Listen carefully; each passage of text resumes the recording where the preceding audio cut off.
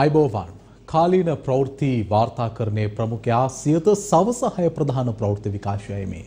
මම කවිදු විජයවර්ධන ප්‍රථමයෙන් සිරස්ථල. ඩීසල් ගොඩබාන විශ්වාසය මත දෙවනිදා සිට කප්පාදුව අඩු කරන්න හදන පවිත්‍රා. කප්පාදුවට හේතුව ඩොලර් සහ බලාගාර නැතිකම. ඇමතිනී පවිත්‍රත් බලාගාර නැති පරණ බෙරපදේම වයයි. ලබන මාසේ සිට දුප්පතුන්ගේ වහලට සෝල පැනල්. විස්සයි තිහේදී සියට හැත්තෑවක් පුනර්ජනනීය විදුලිය. විදුලිය එක්ස්පෝට් කරන්නත් හදන රාජ්‍ය ඇමති දුමින්ද. ඩීසල් නැව් තාම මුහුදේ තවත් නැවක්කෙයි දෙන්න ඩොලර් නැහැ. රටේ ඉන්දන පරිභෝජනය සියට පණහකින් ඉහළගින් ඇමති සරත් වීරසේකර කියයි. මිනිමැරුම් චෝදනාවෙන් ප්‍රේමලාල් ජයසේකර ඇතුළු තිදෙනා නිදොස් කොට නිදහසන්. පවුල් සෞඛ්‍ය සේවිකාවන් අකණ්ඩ වර්ජනයක මාරාන්තික උපවාසයකුත්න් ඇරඹෙයි. රජය ෞෂධවේදින්ගේ සංගමයත් සටනට සූදානමින්. නිර්නාමික කණ්ඩායම්වල ඉල්ලීමට ජන එකතුවීම් භයානකයි ජවිපිය සහ UMP කියයි. දිවිගමනට සමුදුන් ආතාවුද සැනිවිරත්න. නැකතට පැලයක් වැඩ සටහන සියතින් ඇරඹෙයි. අගමැති සමග විද්වත් සාකච්ඡාවක්. වත්මන් අර්බුදයට විසඳුම වහාම රට වසා දැමීම පාටලී පවසයි. ප්‍රථමෙන් අවධානය දේශීය පුවත් වෙත.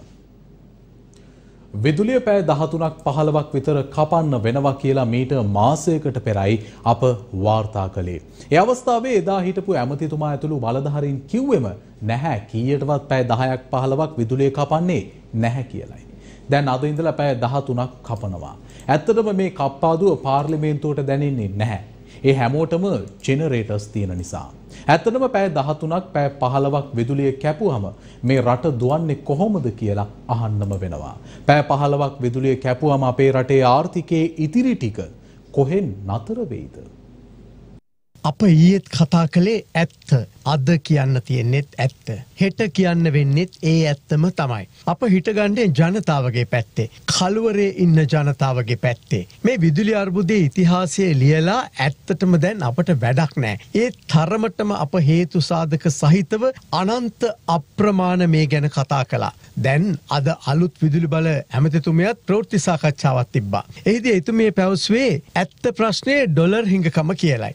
ඉළඟට එතුමියත් පරණ ඇමතිතුමාගේ බෙරපදයක්ම වයනු ලැබවා. ඒ බලාගාර හිඟකම. ඩොලර් නැති නිසා ඩීසල් නැප්තා විතරක් නෙවෙයි ඉළඟට ගල් අඟුරුත් නැතිවේවි. විශේෂයෙන්ම එදස් දහනවය වර්ෂයේ පැය හතරක විදුලි කප්පාදුවක් මාර්තු මාසයේ දහට වෙනිදා ඉඳලා අප්‍රේල් දහවින්ද වෙනකං ගිය. ඒ වෙලාවේ ලංකාවේ කනිජ තෙල්වල කිසිම ප්‍රශ්නයක් තිබුණේ නෑ වෙනත් ගැටලු තිබුණෙත් නෑ හැබැයි ධාරිතාවේ රටේ අඩුවක් තිබුණ විදුලි නිෂ්පාදනය. තවත් විදුලි බලාගාර හදාගත යුතුව තිබුණ. දෙදස් දාහතර වසරට වෙනකොට රටේ රටේ විදුලිය අවශ්‍යතාවය සඳහා බලාගාර අපි ඉදිරි කරා අවශ්‍ය ප්‍රමාණයට දෙදස් දාහතර. හැබැයි සාම්පූර් බලාගාරය එක රටේ කෙරුණේ නෑ. අපි ගෙදර ගිය. අද වෙනතුරු රටට තවත් බලාගාර හැදිය යුතුව තිබුණත් හැදුනේ නෑ. ඉතින් ඒ නිසා ඉතා ඉක්මනින් මේ රටට අවශ්‍ය බලාගාර අපි හදා ගැනීමට කටයුතු කරගෙන යනවා. විදුලිය ඉල්ලන වෙලාවට මුළු රටම එක වෙලාවකට ඉල්ලනවා. උදේ පාන්දර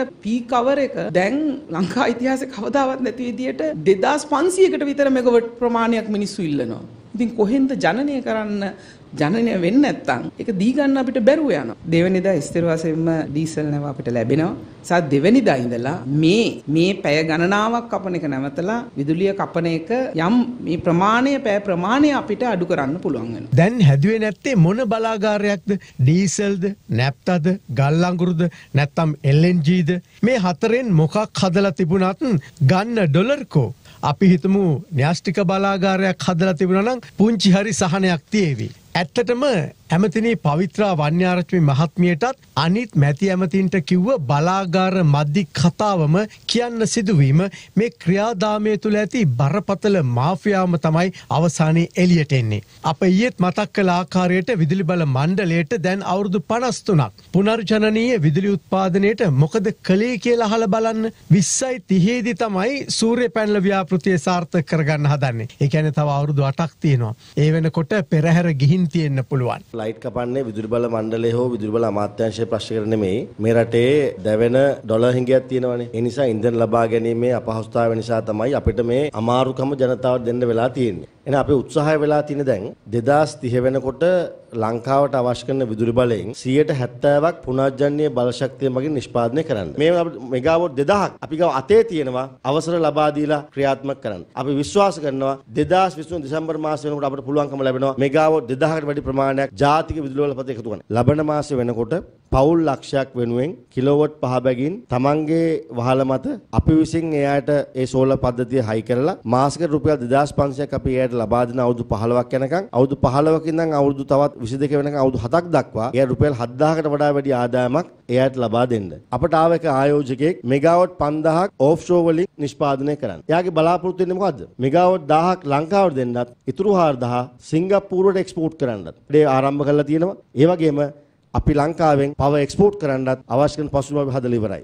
දැන් ඇත්තටම තියෙන බලාගාරවලට ඩීසල් ටික නැප්ත ටික දීගන්න බැරිව තව ඒව හදලා තිබ්බනම් මොකද වෙන්නේ? තියෙන ටික කළමනාකරණය කරගන්න අසමත් වුණ අප අවුරුදු 53ක් පුරාම වැස්ස දිහා බලාගෙන හිටියා. වැසි වැස්සොත් ගඟ පිරේ කියන අසම්භාව්‍ය ක්‍රියාවට රටක් බාර දෙන්න නම් ඇත්තටම අප නිරන්තරයෙන් අසන ප්‍රශ්නය අදත් ඇසිය යුතුයි. ඒ මැති ඇමතිවරු විදුලි බල මණ්ඩලය ආදී එකී නොකී මෙකී ආයතන මොකටද කියලා. තාම ඩීසල් නැව මහමූදේ. ගොඩබාන්න ඩොලර් නැහැ. එයසේ තවත් නැවක් එනවලු. ඇත්තටම මේ ගෙවුණු කාලය තුළ අප පුනර්ජනනීය විදුලි උත්පාදන ක්‍රමවලට යාන්තම් හෝ අතතියලා තිබුණනං අපට මේ කල යන්නේ නැහැ.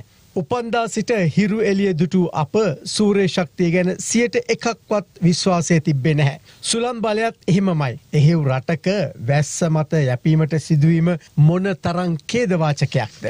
ඇත්තටම මේ අවස්ථාවේ දැන් කඩිනමින් කළ යුත්තේ කුමක්ද. මේ කප්පාදුව අවම කරගන්න පුළුවන් ක්‍රම සොයන්න ඕනේ. එහිලා දැනට ඇති බලාගාර උපරිම ධාරිතාවෙන් දුවවන්න ඕනේ. කොහොමහරි අකණ්ඩව ඩීසල් දෙන්න ඕනේ. එකට ඩොලර් ඕනේ. මුලින් විසඳන්න ඕනේ ප්‍රශ්නය ඩොලර්. ඉන් අනතුරුව දැන් බලන්න ඕනේ ඩීසලුත් එක්කම අපට විදුලිය දෙන්න කවුරුහරි ඉන්නවාද කියලා. ලෝකේ පුරාම තියෙනවා විදුලි උත්පාදන නැව්.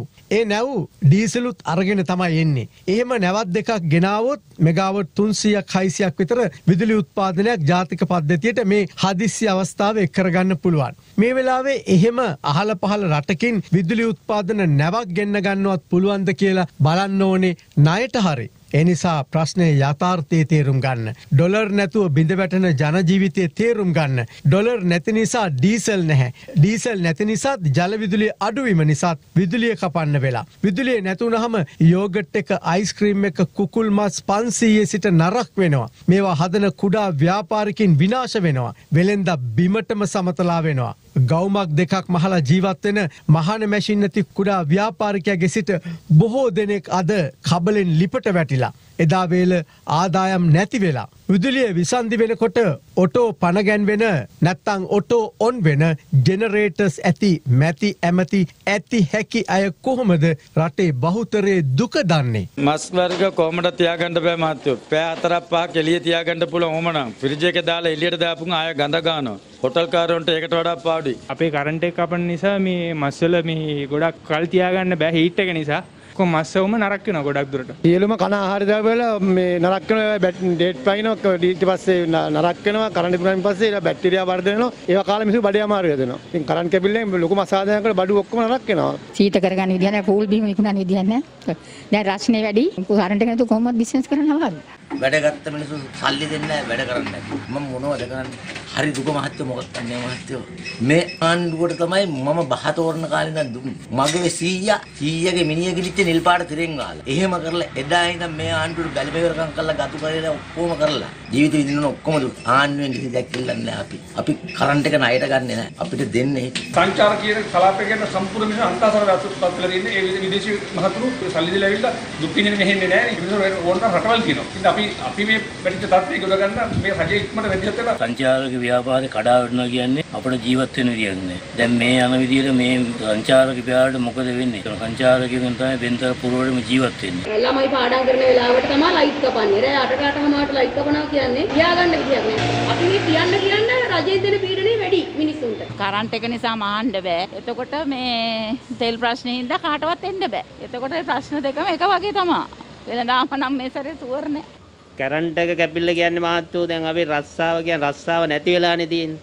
මේ මගුලක් නිසා මුන් මේ කරන බලු වැඩේ නිසා අපිට යන්නේන මන් නැති වෙලා තියෙන්නේ. කරන්ට් එක නැති කියලා කියන්න තියෙන මල්ලි සෑහෙන්න සනීපේ අපිට. මොකද මේ රටේ බලධාරීන්ට ඇස්සැරලා බලන්න ඕනේ. මේ වෙලාවේ හොඳ වෙලාව මේ පමුණුව කියන්නේ මහරගම් පමුණුව කියන්නේ. අපි මේ මේ ලෝකල් මාකට් එකට තමයි මේ හැම ප්‍රොඩක්ෂන් එකක්ම දෙන්නේ. අප්‍රේල් වෙළඳාමෙන් පස්සේ රටේ මොන වගේ තත්ත්වයක් උදා වෙයිද දන්නේ මේ පමුණුවට කරන්ට් එක නැහැ අපිට මහ ගන්න විදියක් නැහැ ප්‍රශ්න කොටයි. ජෙනරේටරේ දැම්මත් ඒ ජෙනරේටරේ තෙල් ගන්න විදිහක් නැහැ. එතකොට අපිට මහන්න විදිහක් නැහැ. සල්ලි මේ දවස්වලනේ අපිට කීයක් හරි හම්බ කරගන්න තියෙන්නේ. ප්‍රතිකාල මහ ගන්න විදියක් නැහැ. බ්ලවුස් කපලා ස්කර්ට් කපලා හැමතැනම ගොඩ ගහලා තියෙනවා. මේ මේ මේ මේ හේතුව නිසා මේ අපේ පුදුම අසරණ භාවයට පත් වෙලා තියෙනවා. මේ හිතන්න ඕනේ මේ මේ කරන්න කලින් සේරම ජනතාව පාරට බහින්න සිද්ධ වෙලා තියෙන අද වෙනකොට. කරන්ට් එක පොලා කියන්නේ ජීවිතේ මනාතයි අපේ. කොහොමවත් කරගන්න බෑ කරුවලේ. කොහොමද කරගන්නේ? අන්තිමම අන්තිමයි දැන් නම් මේ බිස්නස් අඩුම අඩුයි. කරන්ට් එක නැති හින්දාත් පාඩුයි රෙදි බඩු ගණන් හරියට. වෙනස සීසන් එකේදී හරියට සෙනගනේ මේ සැරේ නෑ. බිස්නස් එක ගොඩාක්ම බැහැලා තියෙන්නේ. කරන්ට් එක නැති ප්‍රශ්නේ ගොඩාක්ම බලපාලා තියෙනවා. සෑහෙන ජෙනියටම දාන පෙට්‍රල් සෑහෙන ප්‍රමාණයක් ඒක ලොකු මේ අපිට දරා ගන්න අමාරුයි ඇත්තටම. ඉතින් මේ හැමදේම මුන්ට නිකන් ලැබිලා දේවවරමක් වගේ මුන් ඔය ඔක්කොම නැති කරා. බැරි නම් බොරු කර කර කල් දදා යන එකේ තේරුමක් නැහැ. ජය වේවා. මෙහෙම ගියොත් ලොක්කෝ රජ වෙනවා. අපි ඇවිල්ලා බලු වෙනවා. මේ අවස්ථාවේ අත්‍යවශ්‍ය සේවා පමණක් පවත්වා ගනිමින් වහාම රට වසා දැමීමට කටයුතු කළ යුතු බව පාර්ලිමේන්තු මන්ත්‍රී පාටලී චම්පික රණවක මහතා පවසනවා.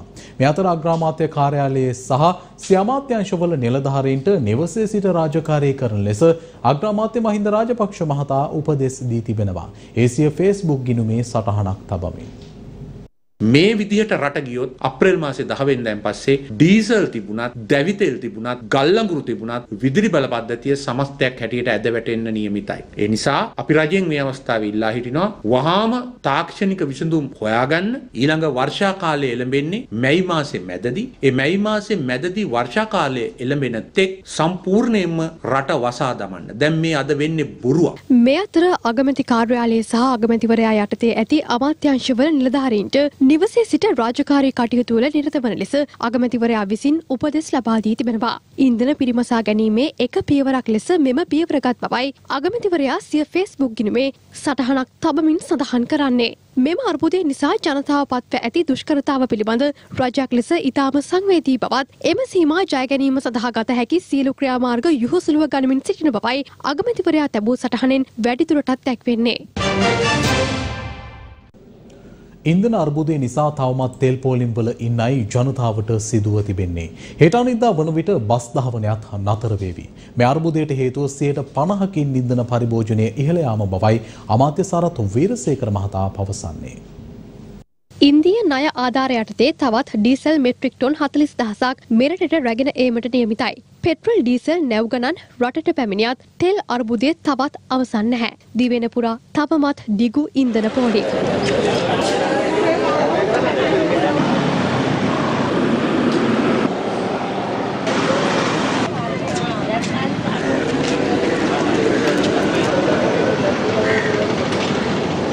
පෝලි. රට කාලා තියෙන්නේ. අපි ඉවරයි. කිරිපිටි බෝලිම කිරිපිටි පොඩ්ඩක් දකින්න නෑ. පත් ටිකක් කන්න විදියක් නෑ. හාල් කිලෝ එක 220යි. වහම ඉල්ලා හිටින්නේ අපිට එන තෙල් ටික අපිටම නිකුත් කරන්න කියලා. පොලිමේ ඉඳලා අර දුක් විඳින මේ තෙල් ටික පහක් ගහ ගන්න ඕනේ. මේ ඔපරේෂන් කරපු එක්කනේ බයිපාස් කරපු. කරන්න දෙයක් නැහැ රට පෙරටනේ. හරි පෙරට මේ බලන්න අර දරුවොත් ඉන්න පෝලිං වල. දෙකේ හතර පොල්ලකින් අපි ඡන්දෙ දුන්නට අපිට ගහ ගන්න ඕන. ඔය ඡන්දෙ දීපු හින්දා. ඡන්දෙ දීලා දීලානේ මේ කරගන්නේ පොල්මි ඉන්නේ. සර්ට ස්තුතිවත් වෙන්න ඕනේ මේ වගේ කරාට මිනිස්සුන්ට. බොහොම ස්තුතියි. තව තව පෝලිං වැඩි වෙන්න ඕන මහත්තයෝ. ඈ කන්න බොන්නත් නැහැ. වාහන දුවන පෙට්‍රලුත් නැහැ ළමයින්ට කිරිපිටිත් නැහැ. තව තවත් පෝලිං වැඩි වෙනවා මොකද මිනිස්සුන්ට හොඳට උවමනාව තිබුණා මේ ටික කරගන්න. සෞභාග්‍ය දැන් හොද්දටම ඉතිරිලා ගිහිල්ලා තියෙන්නේ. කියලා වැඩක් නැහැ. යන්න ඕන මේවා දාලා. බොහොම සතුටුයි දැන් සෞභාග්‍ය දැක්ම උතුරලා යනවා. මේක වගේ කාලයක් ජීවිතේ කිසි දවසක ආවේ නැහැ. තව ටික කාලයකදී මිනිස්සුන්ගේ හැටි බලා ගන්න පුළුවන් වෙයි.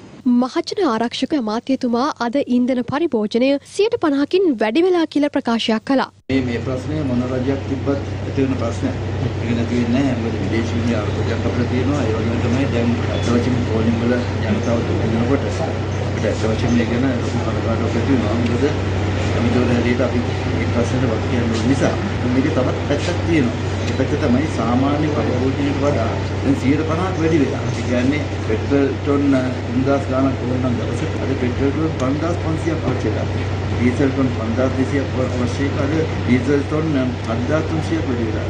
දවස් තුනකට සැරයක් පෞසරයක් වෙන ෂෙඩ් අද පෞස තුනක් ඕනේ එක දවසක. ඉතින් එයේ පරිභෝජනය වැඩි වෙලා තියෙන නිසා නැව් එන අර ෂෙඩියුල් එකත් දීලා තියෙනවා. ඉතින් විදේශීය වගේම ජනතාවගේ යුතුකම තමයි තමාගේ වාහනයට ටැංකුල්ලේ ගහගෙන බුරුවේට පුරවන්න නැතුව එතකොට පිටපස්සෙන් ඉන්න එකාට තෙල් නැතුන බව දැනගෙන ඉතින් ඒ විදිහේ ප්‍රතිපත්තියක් නැතුව මේ අර්බුදය විසඳන්න ජනතාවගේ ඒ කියන්නේ මේවා ඩීසල් අනිවාර්ය අනිසි ලෙස රැස් කරන අයගේ සුකමක් තියෙනවා. මේ අර්බුදෙන් ගොඩ එන්න ඒ ඒ වක්කම තියෙනවා. ජනතාව කීවත් ඒ වක්කම තියෙනවා නේ.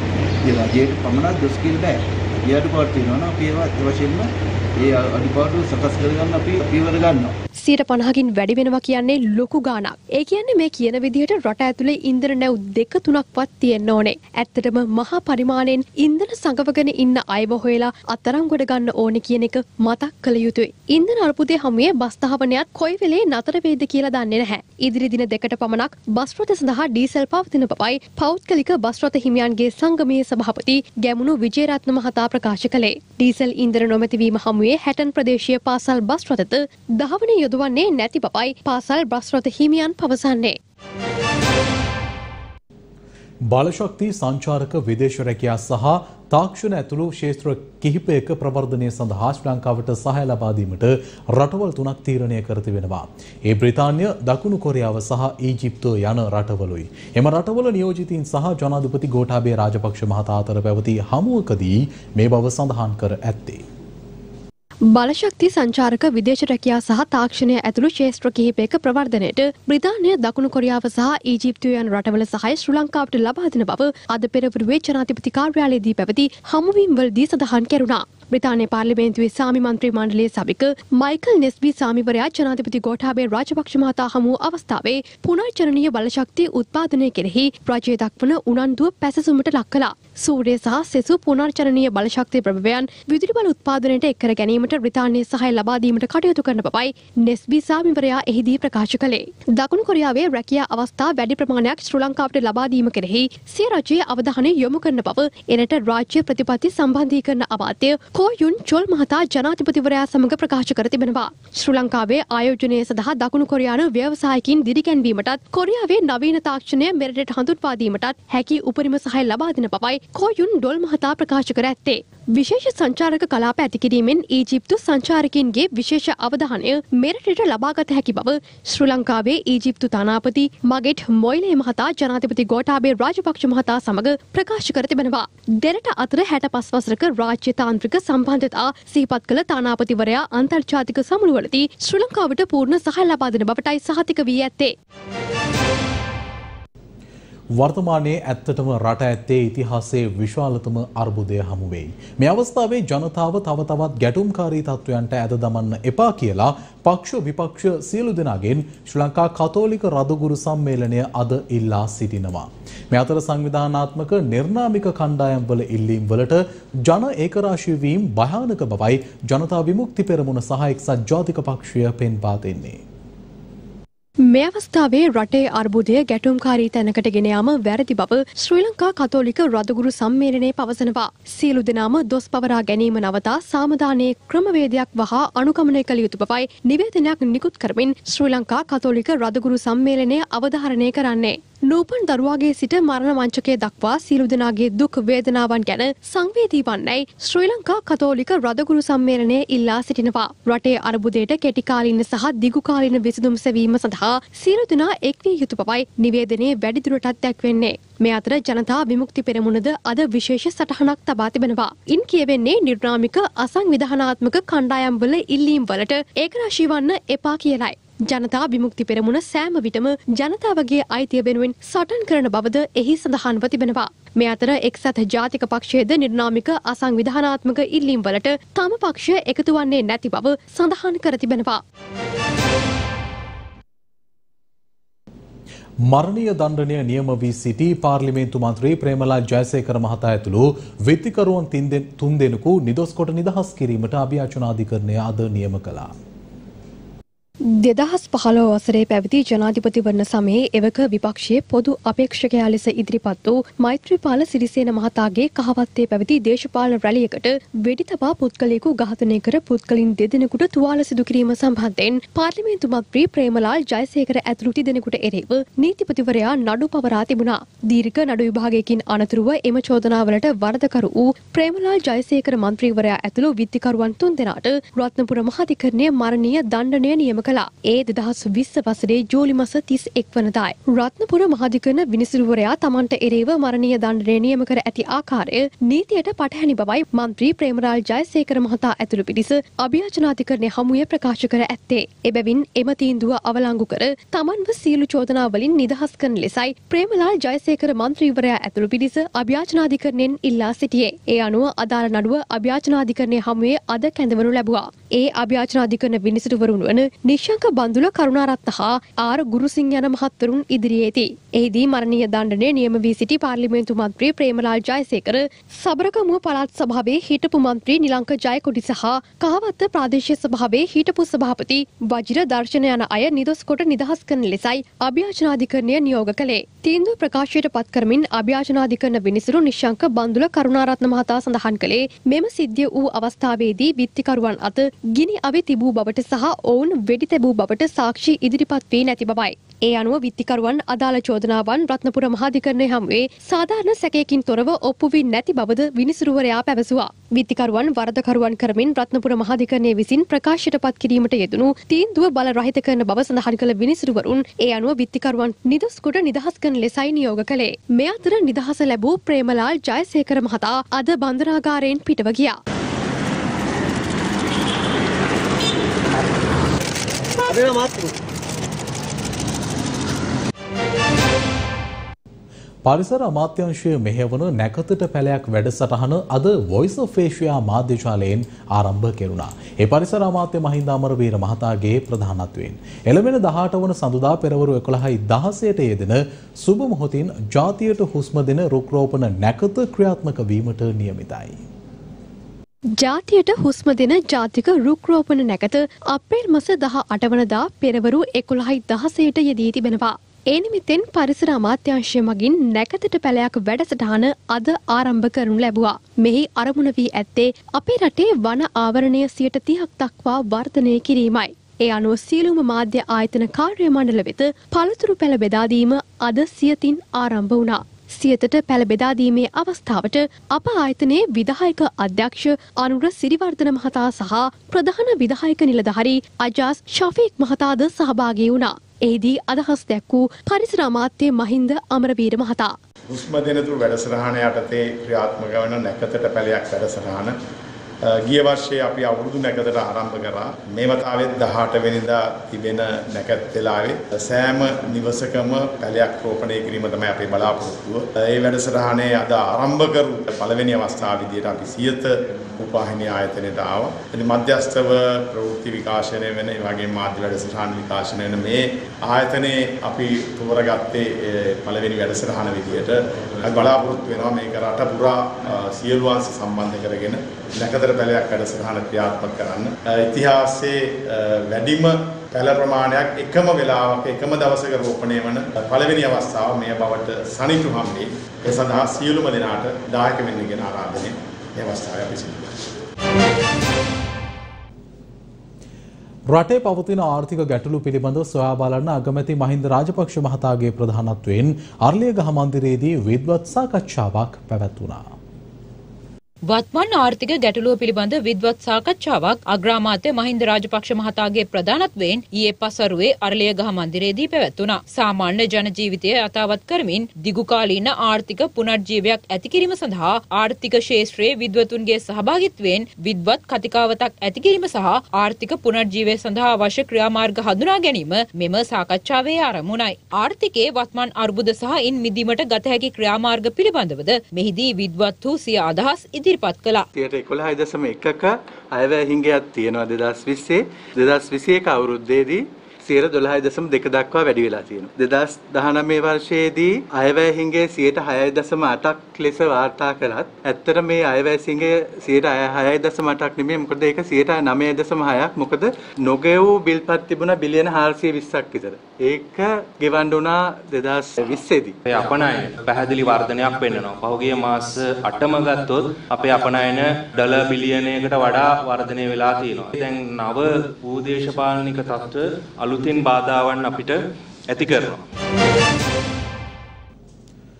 වාණිජ මණ්ඩලය කර්මාන්ත මණ්ඩලය අපනයනකරුවන්ගේ සංගමය ඇතුළු ආයතන රැසක නියෝජිතයින් අද විපක්ෂනායක සජිත් ප්‍රේමදස්ස මහතා හමු වුණා. එහිදී විපක්ෂනායකවරයා පැවසුවේ අදූරදර්ශී සහ අකාර්යක්ෂම පාලනය රට අගාධයට ඇද දමා ඇති බවයි. අදූරදර්ශි සහ අකාරක්ෂම වැඩපිළිවෙල හේතුකටගෙන රට මේ තරම් ප්‍රපාතයකට ඇද වැටුණා. අද පවත්න අර්බුදයට හේතුුණු කරුණු පිළිබඳව නිසි අධ්‍යයනයක් කොටයි ඊට විසිඳුම් සැවිය යුත්තේ. කර්මාන්ත නගා සිටුවම් වෙනුවෙන් සුවිශේෂී වැඩපිළිවෙලක් සකස් කළ යුතුව තිබෙනවා. I think very humbly, my personal opinion, I don't think that the present administration necessary tools, if I may use that word, the necessary policy instruments to bring this country out of this mess. අපේ රටේ ඖෂධ මිල ගණන් දිනෙන් දින ඉහළ යනවා.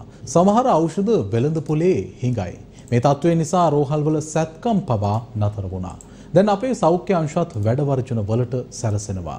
පවුල් සෞඛ්‍ය සේවිකාවන් සහ රජයේ විකිරණ විද්‍යාවේදීන් දැනටමත් වෘත්තීය අර්ගලවල නිරත වනවා. කොහොම වුණත් අවසානයේ පීඩාවට පත්වන්නේ අහිංසක අසරණ රෝගී. වසර 30ක සේවා කාලය සම්පූර්ණ කරන ලද පවුල් සෞඛ්‍ය සේවිකාවන්ට විශේෂ ශ්‍රේණි සඳහා උසස් කිරීම අත්හිටුවීමට සෞඛ්‍ය අමාත්‍යාංශය ගෙන ඇති තීරණයට එරෙහිව අද රජයේ පවුල් සෞඛ්‍ය සේවිකාවන් අඛණ්ඩ වර්ජනයක් ආරම්භ කර තිබෙනවා. සෞඛ්‍ය අමාත්‍යාංශයේ ඉදිරිපිටට පැමිණි පවුල් සෞඛ්‍ය සේවිකාවන් අඛණ්ඩ උපවාසයක්ද ආරම්භ කළා.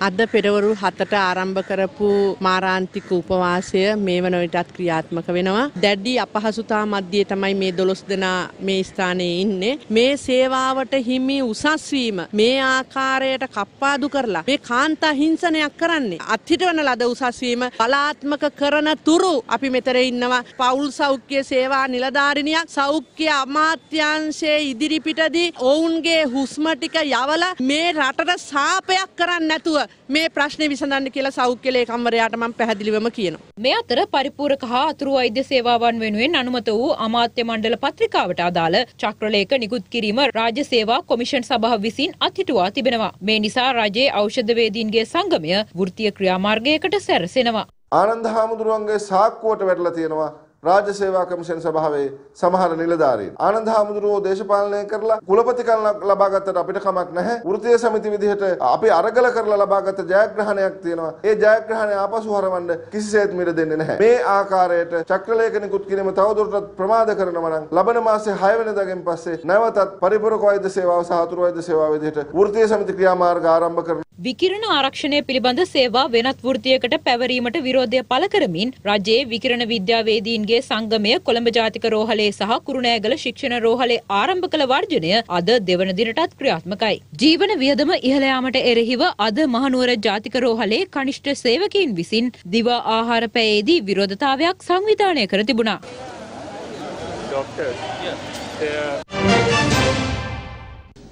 ජීවිත දහසකට අධික පිරිසකට රැකියා සපයමින් අඩු ආදායම් ලාබී පවුල් රැසකට ශක්තියක් වූ මැල්වත්තට අද කනකොකා හඬලා. දමුල්ල කුරුණෑගල ප්‍රධාන මාර්ගයේ මැල්සිරිපුර නගරයට යාපදව පිහිටා ඇති මැල්සිරිපුර වතුයායේ අක්කර තුනක භූමි භාගයක් සතිපොලක් ඉදිකිරීම සඳහා රජයට පවරා ගැනීමට කටයුතු කිරීමට එරෙහිව අද එම වතුයායේ සේවකින් විරෝධතාවයක් ආරම්භ කළා. මීට පෙර මෙම වතුයායේ අක්කර 12ක භූමි භාගයක් දඹුල්ල කුරුණෑගල දුම්රිය මාර්ගයේ සහ මධ්‍යම අධිවේගී මාර්ගයේ ඉදිකිරීම් කටයුතු සඳහා රජයට පවරාගෙන තිබෙනවා. මෙලෙස සතිපොලක් ඉදිකරන බව පවසමින් අක්කර තුනක භූමියක් යළි රජයට සේවයට පවරා ගැනීමට කටයුතු කරන්නේ. ඉඩම් මංකොල්ලයකට බවයි එම වතුවායේ සේවයේ නිරත පිරිස් පවසන්නේ. මීටර් ප්‍රදේශයේ දේශපාලන බලවේගවලද සම්බන්ධයක් ඇති බවට වතුවායේ සේවකීන් පවසනවා. ගොල් සම්පත! අපේ ඉඩම් අපිට ඕනේ! අපේ ඉඩම්! අපිට ඕනේ දේශපාලනේ! අපිට එපා! අපේ ඉඩම්! අපිට දියව්! මේ දේශය! රැක ගන්නට පොල් වතු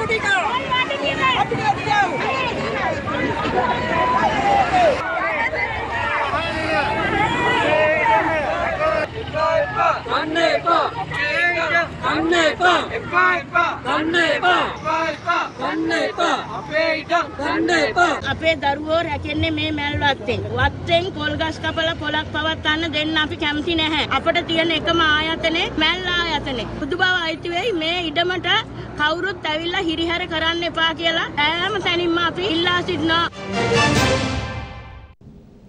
වත්මන් දේශපාලන ආර්ථික තත්ත්වය සම්බන්ධයෙන් විවිධ පාර්ශව පළ කළ අදහස් කිහිපයක් දැන්. ඊයේ දැන් පැය 10ක් විදුලිය කපලා. අද 13ක් කපනවා. මේක රජයේවත් විදුලි බල මණ්ඩලයක් කැමැත්තෙන් කරන දෙයක් නෙවෙයි. ඩොලර් කියන එක එකපාරම අපිට ගේන්න විදිහක් නැහැ. මොකද අපිට සංචාරකයෝ ආපුවම තමයි ඩොලර් ටික එන්නේ. විදේශ ශ්‍රමිකයන්ගෙන් සල්ලි ටිකක් එවුවොත් තමයි ඩොලර් ටිකක් එන්නේ. ඉතින් ඒ නිසා මේක මේ ගෝඨාභය ජනාධිපතිතුමා නිසාවත් අගමැතිතුමා නිසාවත් බැසිල් රාජපක්ෂ මැතිතුමාවත් නිසා වෙච්ච දෙයක් නෙවෙයි. මිනිස්සු ආහාර නැතුව දුක් විඳිනවා. බෙහෙත් නැතුව දුක් විඳිනවා. දරුවෝ කිරිපිටි නැතුව දුක් විඳිනවා. මිනිස්සු ඉන්ධන පෝලිං වල, විදුලිය නැහැ ගෙවල් වල. මේ සියල්ලම නිසා මම ආයාචනය කරන මුළු රටවැසියන්ටම එන්න ඉදිරියට තුන්වෙනිදා හවස 3ට කිසිදු වාද ભેදයක් තොරව දේශපාලන ಜಾති ආගම් කුල ભેද වලින් තොරව පාට බහින්න. පාට බහැලා මේ ජනාරගලේ පළවෙනි වෙඩිමුර පත්තු කරන්න. ඒක සාර්ථක කරන්න. ඊයේ රෑ 12ට ලයිට් ආවේ. හවස දෙකට කපපු ලයිට් 12ට ආවේ. ඊයේ දවසේ නිවුස් එකක්වත් බලා ගන්න බැරි වුණා. ඉතින් මහා විශාල කලකිරීමක් අපිට පවා එනවා. අපිටත් මේ ප්‍රශ්නේ තියෙනවා. එතකොට ජනතාවට මේ ප්‍රශ්නේ නෑයි කියලා මම කියන්නේ නේ. ඒ නිසා ජනතාව සුඛිත මුදිත වෙලා ඉන්නේ. මේ ඔක්කොම අපි හොඳට කළායි කියලා කියන්න නෙමෙයි අපි මම ඉඳගත්තේ. අපි දන්නවා දැන් රටේ ප්‍රශ්නයක් තියෙනවා. ඒ ප්‍රශ්නය පිළිබඳ හරි අවබෝධයක් ලබා දෙන ආකාරයක් අපිට පේන්නේ නැහැ. මැති ඇමතිවරු, මන්ත්‍රීවරු එක එක්කෙනා නොයෙක් විදිහේ කතා කියනවා හැරෙන්න සාමූහික වගකීමක් දරමින් මොකද්ද ප්‍රශ්නේ මේ ප්‍රශ්නට අපි මුහුණ දෙන්නේ කොහොමද කියන එක ගැන කිසිම සාකච්ඡාවක් ඇති වෙලා නැහැ. කොල්ලවල හිඟයක් තියෙන බව අනිවාර්යයෙන්ම තිබෙන ආනායන අර්බුදය නිසා ඇති වෙනවා කියන ශාල ප්‍රචාරයක් ගෙනිච්ච. දැන් වාර විභාග පවත්වන්න බැරි වෙයි කියලා. එහෙම තත්ත්වයක් නැහැ. පිරිසුවා බලලා ඉතා ඉක්මනින් ඒ පළාත් සභාවල් විසින් පවත්වන වාර විභාග සම්පූර්ණ කරගන්න පුළුවන්. ඒ වගේම අපිට අවශ්‍ය අපොස සාමාන්‍ය සහ තෝර් මාසයේ අවසානයේට අපි පවත්වන මේ වසරේ උසස් පෙළ විභාගයටද දැන් තියා ඒ අවශ්‍ය සූදානම් ගබඩාගත කරලා තිබෙනවා. හිටපු කැබිනට් අමාත්‍යවරයෙකු වූ අතාවුද සෙනවරත්න මහතා අභාව ප්‍රාප්ත වී තිබෙනවා. කෘතහස්ත දේශපාලඥයෙකු වූ අතාවුද සෙනවරත්න මහතා මිය යන විට අනු එක් වෙන වියෙහි පසු වුණා. ඔහු අමාත්‍ය දුහර රාශියක් දැරු දේශපාලඥයෙක්. හිටපු කැබිනට් අමාත්‍යවරයෙකු වූ ආතාවුද සෙනවිරත්න මහතා අභාව ප්‍රාප්ත වී තිබෙනවා. එදදාස් නමසය පනස්සත වර්ෂයේ ගම් සභාවෙන් සිය දේශපාලන දිවිය ආරම්භ කළ ඒ මහතා එදදාස් නමසය හැත්තෑව වර්ෂයේදී පාර්ලිමේන්තුවට තේරීපත් වුණා. එදදාස් නමසය අසූ නමේ සිට දෙදහස් පහළව වර්ෂය දක්වා වරින් වර පාලිමේන්තු මන්ත්‍රීවරයකුල් ලෙස ඔහු කටයුතු කළා. ආතාවුද සෙනිවිරත්න මහතා කැබිනට් අමාත්‍යවරයකුල් ලෙසද වසර ගණනාවකදී සිය සේවය රට වෙනුවෙන් ඉටු කළා. ඒ මහතා කොළඹ පෞද්ගලික රෝහලක ප්‍රතිකාර ලබමින් සිටියදී අභාව ප්‍රාප්ත වී තිබෙනවා. කෘතහස්ත දේශපාලඥයෙකු වූ ආතාවුද මහතා මිය යන විට අනු එක්වන වියේ පසු වුණා.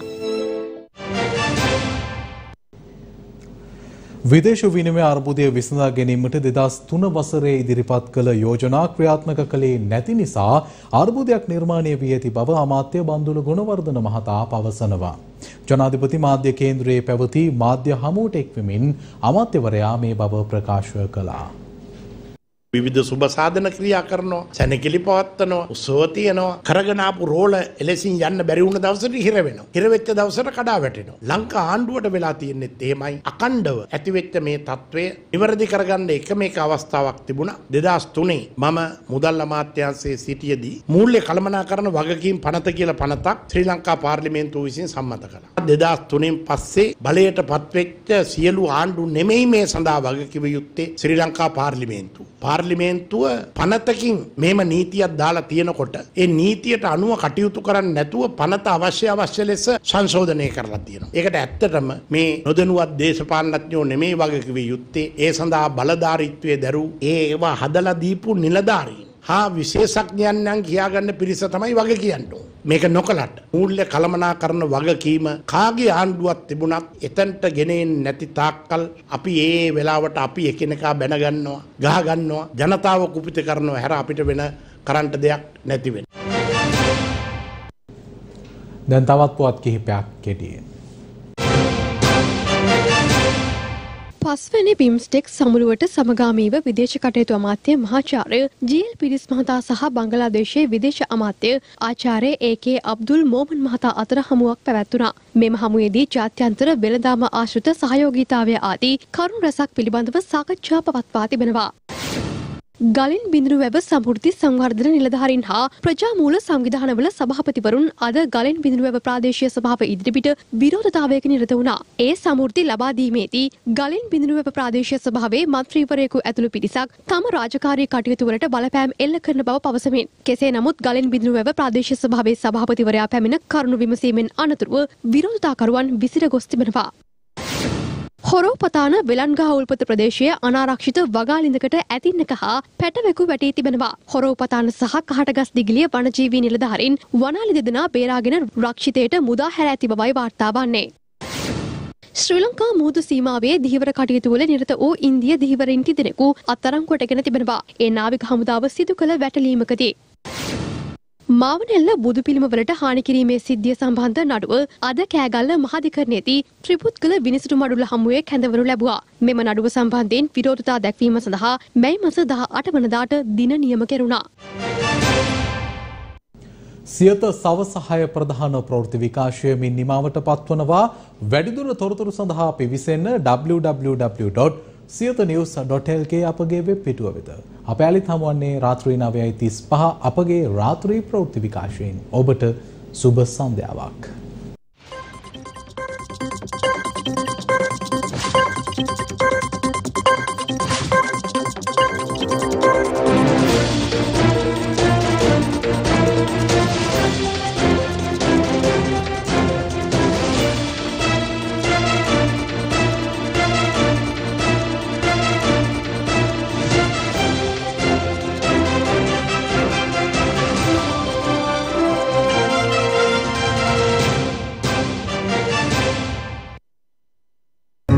දිනපතා අලුත් වීඩියෝ සහ ප්‍රවෘත්ති නැරඹීමට ඉහත බටන එක ක්ලික් කර සියත TV සබස්ක්‍රයිබ් කරන්න.